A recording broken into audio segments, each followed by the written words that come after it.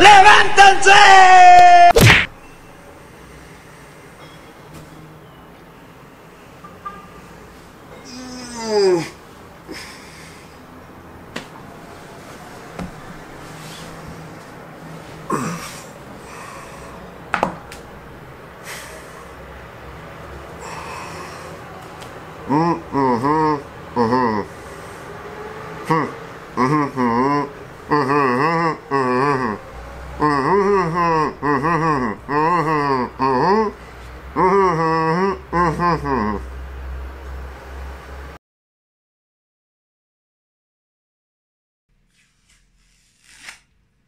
Ahora sí, muy buenos días a todos.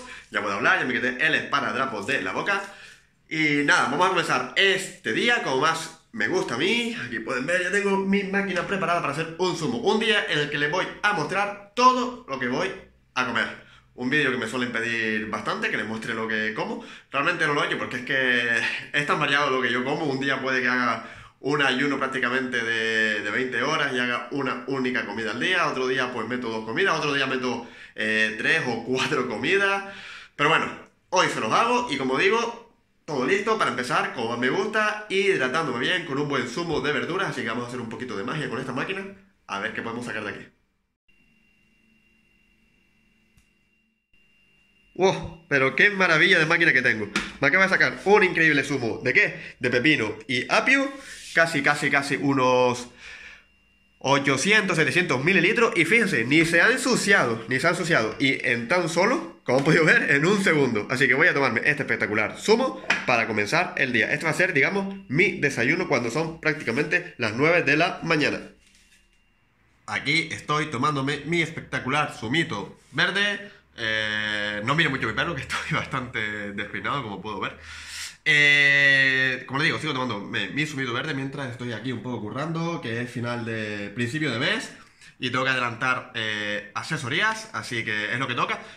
No siempre estoy haciendo las asesorías, obviamente, sino final de mes, principio de mes, que es cuando hago lo- los cambios. Obviamente, si hay que hacer algún cambio también entre mediados de mes, por cualquier circunstancia, pues es lo que toca.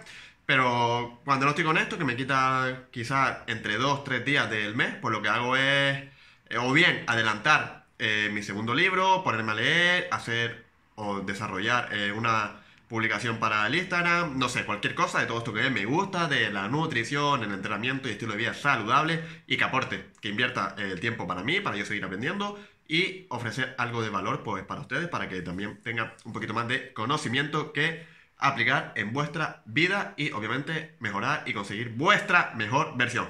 Así que nada, voy a seguir aquí que me toca currar un poquito y nos vemos más tarde.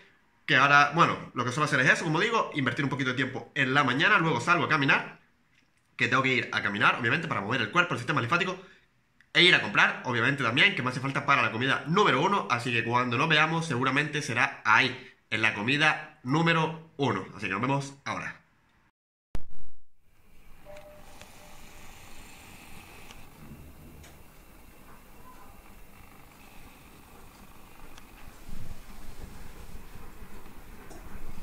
Pues sí, esto es lo que tuve que ir a comprar, una cajita espectacular de mangas porque es lo que va a ser mi comida número uno. No sé cuánta me comeré hasta que me quede bien, hasta que me quede satisfecho, así que voy para allá. Miren qué color, cómo huelen. Uf. De momento voy a comenzar con 8. ya si me quedo bien, pues las dejo aquí. Y si no, me comeré alguna más. Eso sí, obviamente yo las voy a pelar. Y no voy a ser como mi amigo Alberto que se las come así, tal cual, con cáscara. Así que nada, voy a comerme esto y nos vemos más tarde. ¡Ay, Omaca rica! Pues bueno, al final cayeron 10 mangas que estaban muy, muy ricas, como les decía, jugosas, bien maduras y súper dulces. Pero eh, ya ha pasado como una media hora que me las comí y va a caer esto, esto que tengo aquí, que es el yogur, que ya lo mostré una vez. El yogur de, de coco, que está increíblemente bueno, simplemente, a ver si se puede ver por aquí, no sé si se podrá leer. Eh, por ahí se puede ver, quizás. Eh, bueno, bueno, es simplemente eh, 99% de leche de coco, un poco de harina de tapioca, supongo que es para darle un poco de espesor, y los, y los fermentos. Así que son 400 gramos. Me como este yogur después de las 10 mangas. Y de momento es todo para descansar un poquito e irme a entrenar, que hoy toca hacer un buen entreno de, de empuje. Eh, un poquito de press de banca o lo que viene siendo pecho y un poquito de hombro. Así que nos vemos más tarde, no sé igual si grabo algo del entreno, que lo dudo. Pero bueno, no sé dónde nos veremos, si será en el gimnasio, en la calle, comprando o ya en la cena.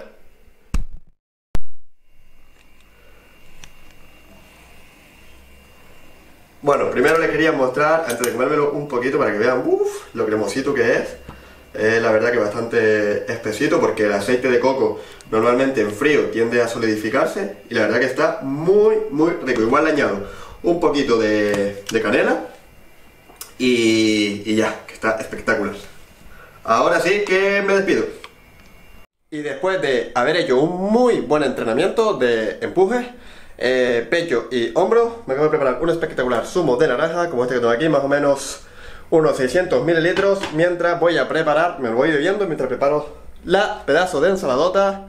Yo tengo aquí todas las verduras que voy a usar en crudo y por aquí lo que hay, las buenas legumbres. Así que me, termino, me de tomar el zumo, preparo la ensalada y les muestro cómo queda de espectacular. Todas las verduras picadas ya, que era lechuga, tomate, eh, cebolla, zanahoria y también hay un poco de cilantro. Y voy a usar dos botes de legumbres, en este caso día, bueno, mentira, bote y medio. Eh, que aquí hay 500 gramos, 500 gramos de escurrido y aquí también, y habrán pues 250.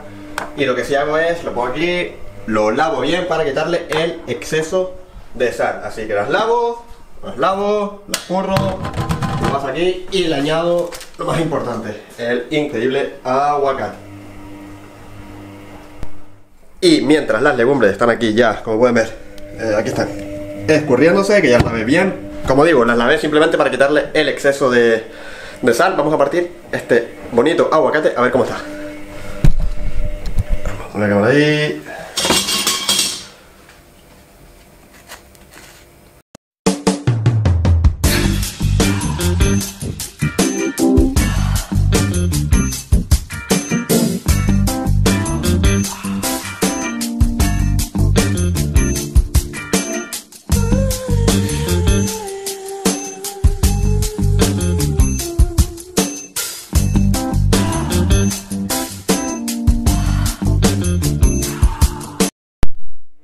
Aquí pues lo único que hago es esto, es callarlo y lo mezclamos todo muy bien para que el aguacate se desmigaje y se queda como un aderezo. Lo mezclo todo bien y ahora le añado las legumbres. Y aquí tenemos ya los 700 gramos de legumbres. Y bueno, para darle el toque final a esta increíble ensalada, le voy a echar un poquito de jengibre molido que tengo aquí. Un poquito simplemente.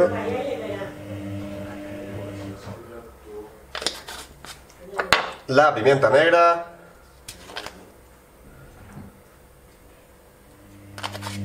Y la sal negra esta, que es sal negra, que tiene un sabor increíble eh, como a huevo y la verdad que está muy rica pero no mucha. Que sabemos que la sal tampoco hay que abusar. Pero como yo vengo a entrenar, me lo puedo permitir. Y listo. Removemos bien para mezclar todos los sabores. Y espectacular.